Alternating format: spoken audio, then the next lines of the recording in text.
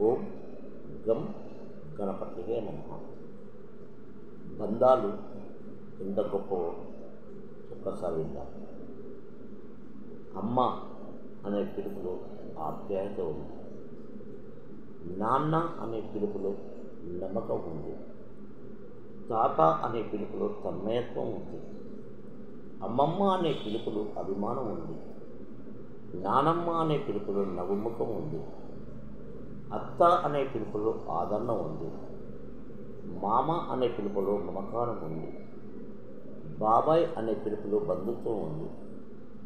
చిన్నమ్మ అనే పిలుపులో చనువు ఉంది. అన్న అనే పిలుపులో అభయం ఉంది. చెల్లి అనే పిలుపులో చేయూత ఉంది. తమ్ముడు అనే పిలుపులో తీయదనం ఉంది. అక్క అనే పిలుపులో అనురాగం ఉంది.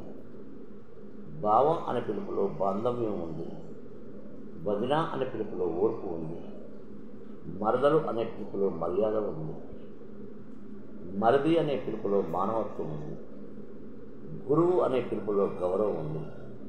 నేడు మనం కట్టే బట్ట చదివే చదువు తినే తిండి అన్న పరాయి పోకలను అనుసరిస్తున్నాయి.